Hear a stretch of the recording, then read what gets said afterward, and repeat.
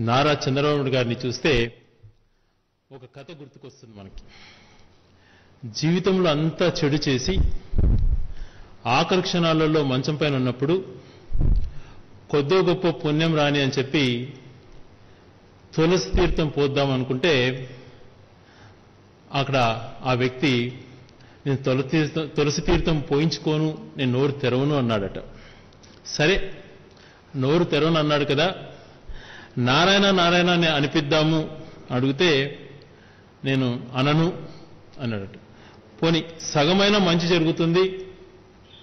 గోగునారు తీసుకొచ్చి నారాయణ అనకపోయినా కనీసం నారా అంటాడు కదా అని అనుకున్నాడట.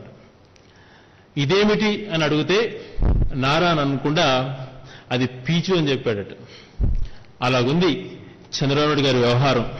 ఎందుకంటే కోవిడ్ వల్ల ప్రపంచం రాష్ట్రం అంతా అతలాకులం అవుతుంటే ఈయన ప్రభుత్వానికి మంచి సూచనలు ఇవ్వాలి అని చెప్పి ఆలోచన చేయకుండా తను ఏం చేస్తున్నాడు?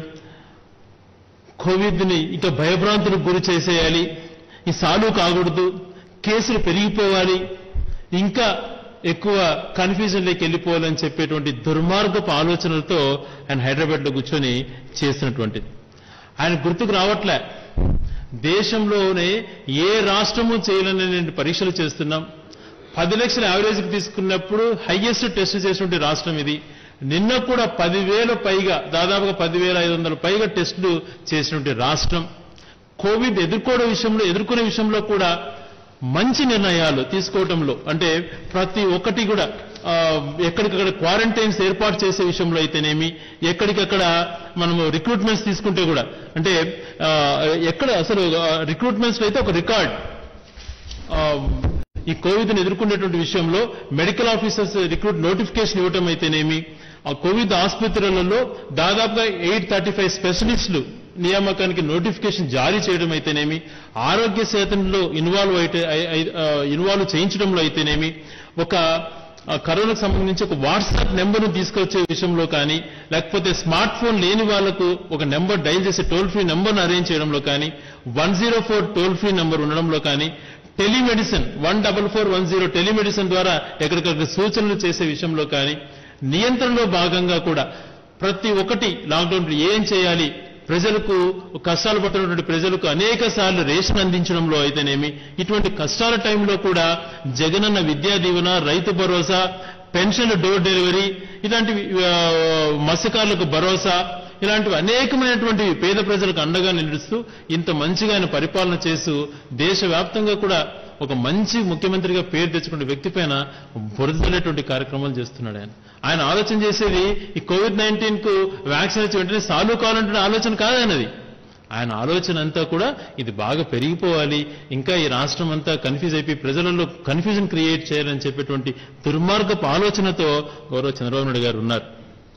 ఆయన ఆయన ఆశలు అంతా ఎట్టున్నాయంటే కోవిడ్ వల్ల ఇంకా లక్షల మంది చనిపోతే తనకు బాగా పని పెరుగుతుంది అన్నటువంటి ఆలోచనతో తనటువంటి అంశం మనం చూస్తున్నాం ఇప్పుడు.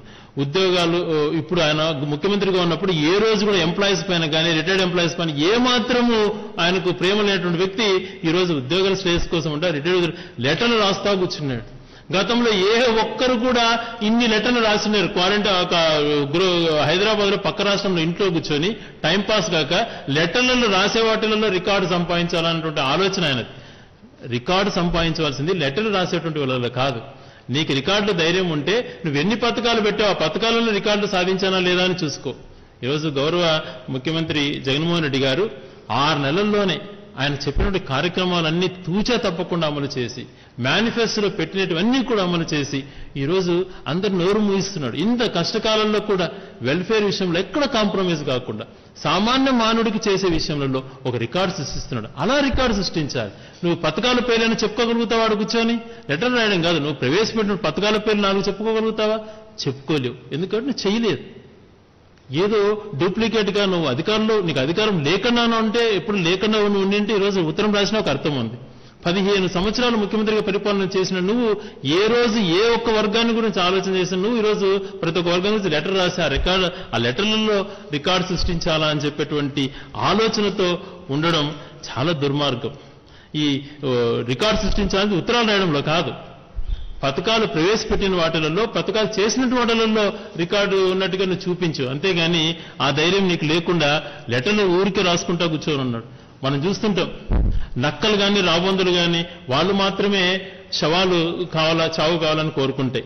కానీ మనుషులు బాగును కోరేటువంటి వాళ్ళు మానవతావాది. కానీ మనుషులలో చెడు కోరుకున్నటువంటి వాళ్ళు రాక్షసులు అంటారు. నువ్వు చెడుని కోరుకుంటున్నావు. ఈరోజు విశాఖపట్నంలో జరిగినటువంటి సంఘటన మనం చూసుకున్నప్పుడు ఆ విషాద సంఘటనని ఎలాగ ప్రజలకు భరోసాగా ఉండాలి? అక్కడ ఉన్నటువంటి ప్రజలపైన ఇమ్మీడియట్గా ఏ రకమైనటువంటి చర్యలు తీసుకోవాలని చెప్పి అన్ని డిపార్ట్మెంట్స్ ఇన్వాల్వ్ చేసి అక్కడ ప్రజలు మన్నలను పొందుతుంటే నువ్వు జూమ్ యాప్ పెట్టి విమర్శలు చేయటం. ఆ జూమ్ యాప్లలో నువ్వు ఎన్ని వీడియో కాన్ఫరెన్స్ చేసిన దాంట్లో రికార్డు కాదు చూపించుకోవాల్సింది. అక్కడ సమస్యను ఎలాగ పరిష్కరించామన్నటువంటిది చూసుకోవాలా. విశాఖపట్నంలో ప్రాబ్లం అంతా సాల్వ్ అయిపోయింది అన్నటువంటి సాల్వ్ అయిపోయి అయిపోయి మంచిగా ప్రజలు ఉండాలంటే ఆలోచన నీకు లేదు. అక్కడ ఇంకా సమస్యను సృష్టించాలా? అక్కడ విద్వేషాలు రెచ్చగొట్టాలా? అటువంటి ప్రయత్నంలో ప్రెస్ మీట్లు పెట్టి నువ్వు చేయటం చాలా దుర్మార్గం. ఒక రాజకీయ నాయకుడు కానీ ఇన్ని సంవత్సరాలు ముఖ్యమంత్రిగా పరిపాలన చేసావే నీకు ఆ మాత్రం అవగాహన లేదా? నీకు అవగాహన కాదు నీకు శాడిజం మెంటాలిటీ. సమస్యను పరిష్కారం అవుతే నీకు బాధ. ఒకవేళ కోవిడ్ సమస్య పరిష్కారం కాకూడదు గ్యాస్ లీకేజ్ విషయంలో విశాఖపట్నంలో సమస్య పరిష్కారం కాకూడదు. ఆ సమస్య అలాగే ఉండాలని కోరుకుంటావు పెరగాలని కోరుకుంటావు ఏంటి నీ ఉద్దేశం? మానవుడు అన్నవాడు మనిషి అన్నవాడు ఎవడన్నా ఇలాంటి కోరుకుంటాడా? అలాంటి దుర్మార్గంగా వివరించడం సరైనటువంటిది కాదు. జూమ్ యాప్లలో నువ్వు కూర్చొని మీ యొక్క క్యాడర్ని రెచ్చగొడుతూ అక్కడ సమస్య సమస్య పరిష్కారానికి సరైనటువంటి సూచనలు చేయకుండా అక్కడ రెచ్చగొట్టేటువంటి మాటలు మాట్లాడుతూ. నీ పార్టీకి సంబంధించిన శాసనసభలో బ్రహ్మాండంగా ప్రభుత్వం వివరించిందన్న మాట మాట్లాడలేదా చెప్పండి? అక్కడ ప్రజలందరినీ కలవండి. అది మానవ అది ఆ ఇండస్ట్రీ వాళ్ళ తప్ప ప్రభుత్వాన్ని ఏమాత్రం ప్రమేయం లేకున్నా కూడా ప్రభుత్వం బాధ్యత వహించి నష్టపరిహారం ఇచ్చే విషయంలో కానీ అక్కడ సమస్య పరిష్కరించే విషయంలో కానీ ఎంత చక్కగా వ్యవహరించిందండి.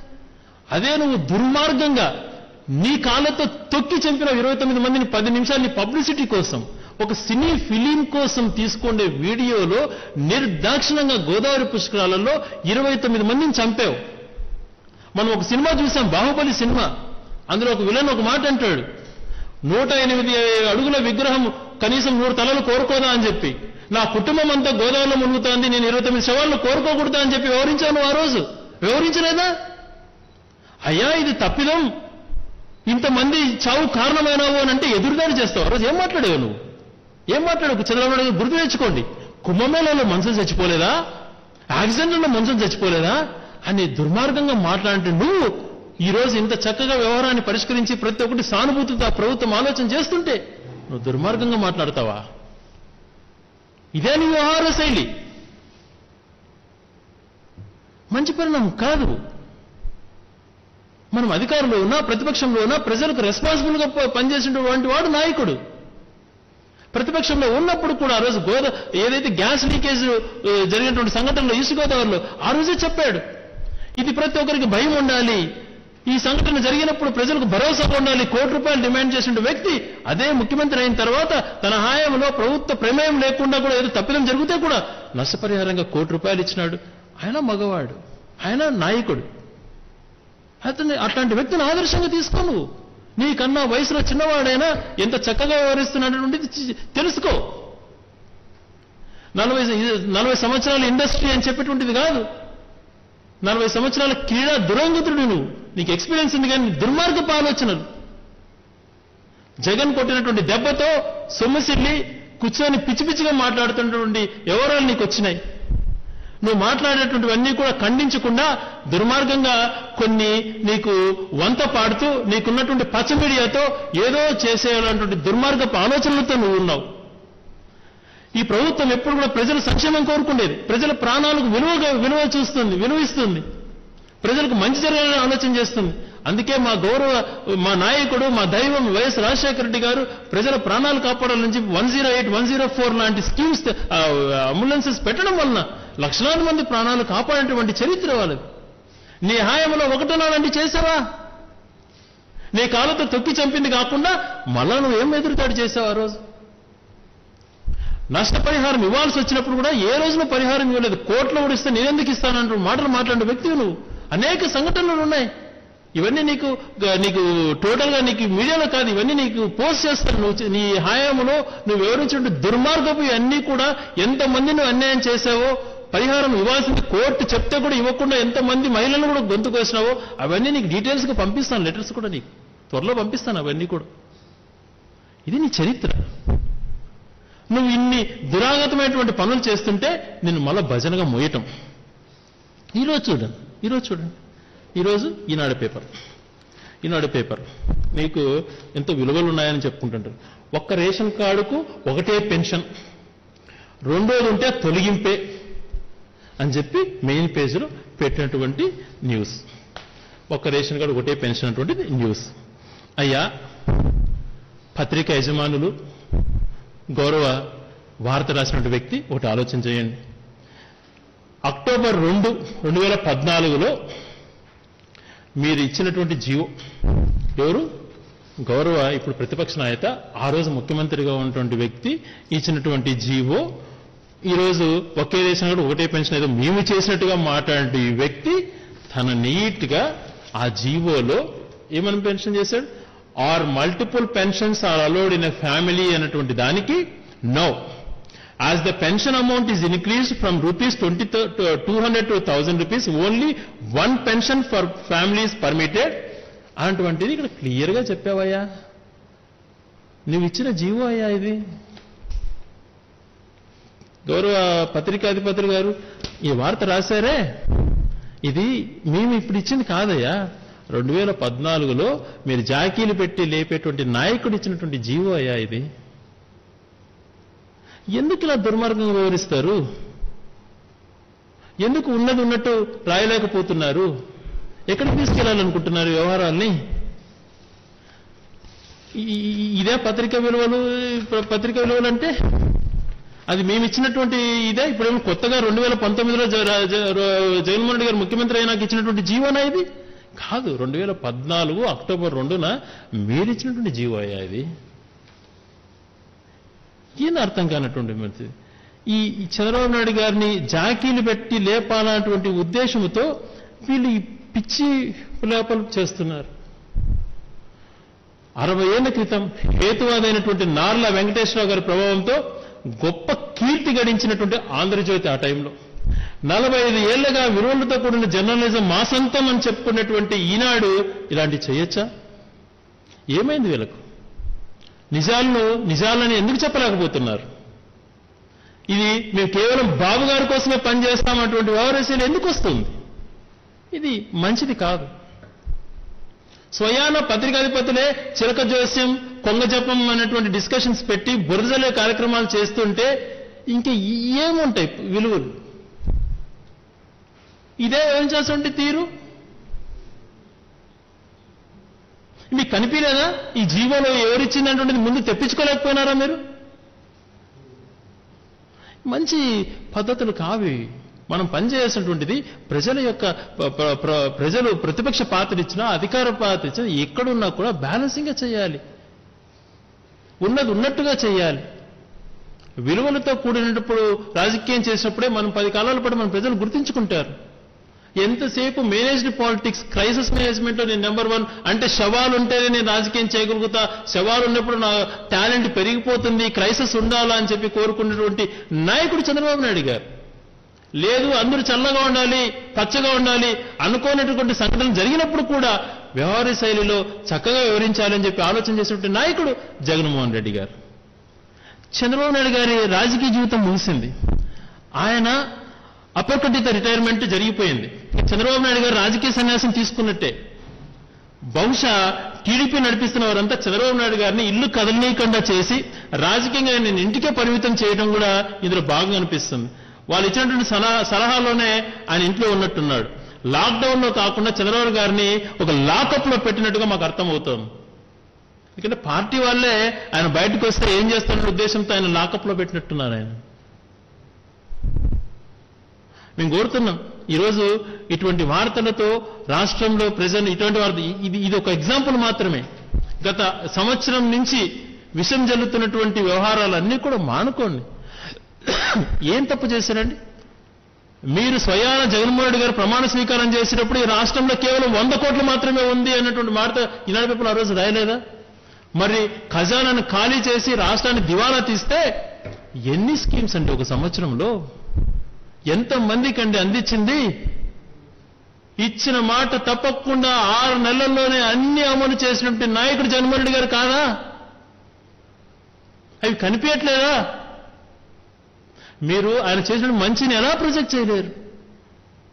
కనీసం అది చేయకపోయినా ఈ చెడును రాష్ట్రానికి నష్టం జరిగేటువంటి పరిస్థితులు తీసుకురావద్దని చెప్పి మనం కోరుకుంటున్నాం విఘ్నత వ్యవహరిస్తాం. మాలాంటి వాళ్ళకు ఒక మార్గ మార్గదర్శకుడు జగన్మోహన్ రెడ్డి గారు. ఆయన చూస్తుంటే మాలాంటి రాజకీయ నాయకులకు సంతోషం కలుగుతుంది గర్వపడాలనిపిస్తుంది. ఇటువంటి నాయకుడి కింద పనిచేస్తున్నందుకు గర్వంగా ఫీల్ అవుతున్నాం. ఇచ్చిన మాట తప్పకుండా ఎక్కడ ఏది చేయాలో చేస్తూ తను రాష్ట్రంలో కోవిడ్ అటువంటిది అరే మనం చేసుకోవాల్సినటువంటి చర్యలు చేపడదాం. భౌతిక దూరం పాటించేది కాకుండా ప్రతి ఒక్కరికి మాస్క్ ఉండాలి అని చెప్పి ప్రతి ఒక్క మనిషికి మూడు మాస్కులు ఇవ్వడమే కాకుండా దానిపైన అవేర్నెస్ క్రియేట్ చేయాలి. కోవిడ్ వచ్చినట్టు మనిషిని వెలేయకూడదు. తనను కూడా దగ్గరికి చేర్చుకోవాలి. తనకు కూడా మంచి జరిగేటట్టు చేయాలి. కోవిడ్ వచ్చినప్పుడు అంతా కూడా మరణించరు. ప్రజల్లో ధైర్యం చెప్పి నింపాలి అని చెప్పి ఆలోచన చేస్తే ఎంత దుర్మార్గంగా మాట్లాడారండి మీరు? సహజనం చేయాలని జగన్ కోరాడని చెప్పి ఏదేదో పిచ్చి ప్రాతలన్నీ రాశారు. ఏమైంది? రాష్ట్రపతి కేసీఆర్ గారు ఏమంటున్నారు? కేజ్రీవాల్ గారు ఏమంటున్నారు? డబ్ల్యూహెచ్ఓ ఏమంటుంది? ప్రధాని మోడీ గారు మోడీ మోడీ గారు ఏమంటున్నారు? అందరూ కూడా సేమ్ జగన్మోహన్ రెడ్డి గారు ఏం చెప్పిందో అదే చెప్తున్నారు. విషం చెల్లేటువంటి కార్యక్రమాలు మానుకొని రాష్ట్రానికి మంచి జరిగేటువంటి సూచనలు చేయాలని చెప్పి మరొకసారి కోరుతున్నాను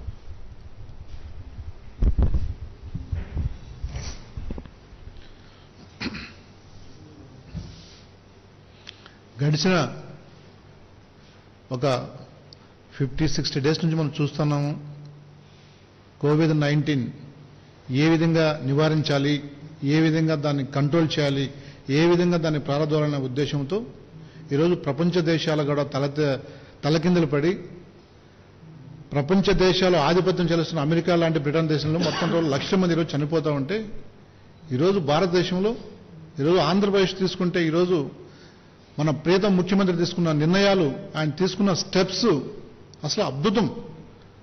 ఆ అద్భుతాన్ని ఈరోజు కేంద్ర బృందం ఈరోజు చెప్పింది. ఈరోజు ఏదైతే మనకి ఈరోజు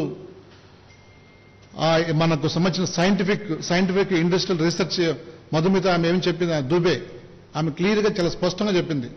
నిజంగా ఆంధ్రప్రదేశ్ తీసుకున్న steps YS Jaganmohan Jaganmohan Reddy garu corona పైన తీసుకున్న నివారణ చర్యలు ఆ టెస్టింగ్స్ దేశంలో ఏ రాష్ట్రాల్లో తీసుకోలేదు. అన్ని రాష్ట్రాల్లో ఆంధ్రప్రదేశ్ మీద కొలమాన పద్ధతి తీసుకుంటే చాలా అద్భుతంగా ఉంటుంది. కరోనా కంట్రోల్ చేయొచ్చని ఈరోజు కేంద్ర ప్రభుత్వం విజిట్ చేసి వాస్తవ పరిస్థితులని అవగాహన చేసుకొని ఇవన్నీ చేసి ఈరోజు చెప్తా ఉంటే చంద్రబాబు నాయుడు గారు తెలుగుదేశం కంపెనీ వాళ్ళు ఈ టైంలో కూడా విమర్శలకు తీస్తా ఉంటే నిజంగా వాళ్ళని చూసి జాలి వస్తుంది.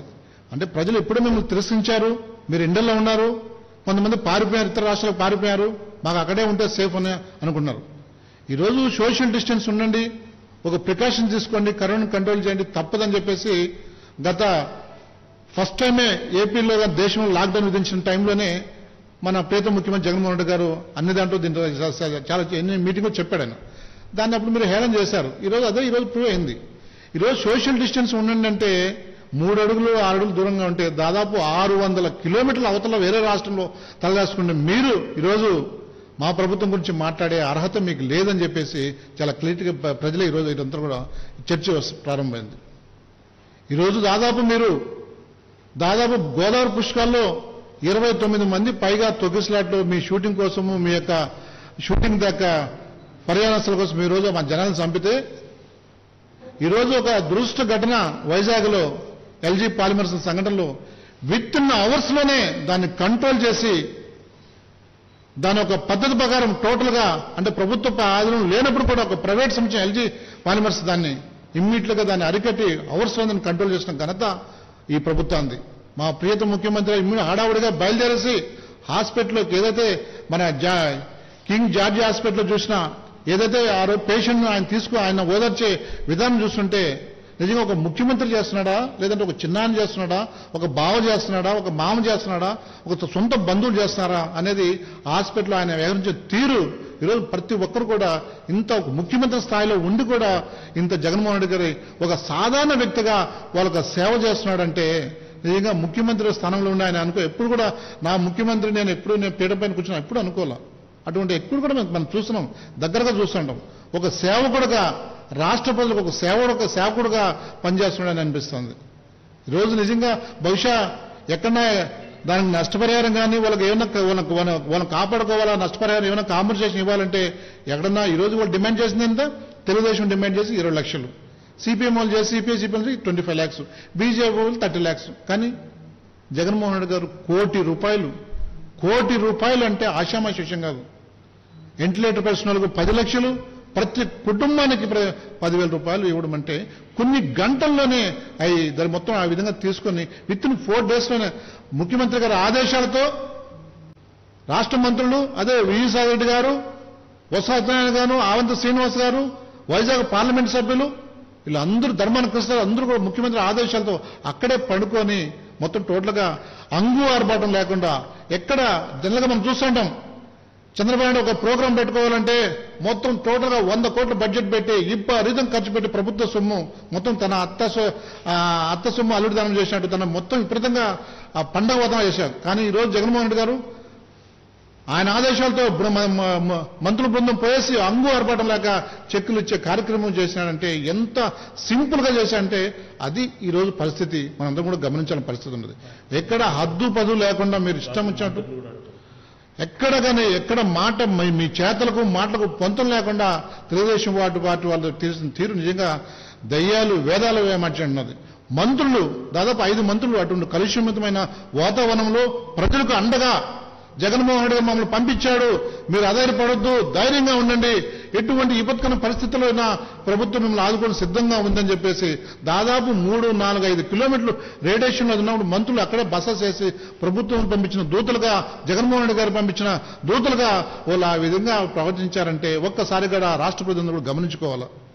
అదే తెలుగుదేశం పార్టీ గతంలో అధికారం ఉన్నప్పుడు ఏదో విషయం జరిగితే పారిపోయేవాళ్ళు. ఏదో సింపుల్ ఒక స్టేట్మెంట్ ఇచ్చి ఆ రోజు ఆనాటి ముఖ్యమంత్రి చంద్రబాబు నాయుడు గారు సంఘటన స్థానం చేరుకుంటే అంగు ఆర్పాటలతో రకరకాల వేషధానంతో పోయారు. అప్పుడు పబ్లిక్ నుండి పారిపోయారు.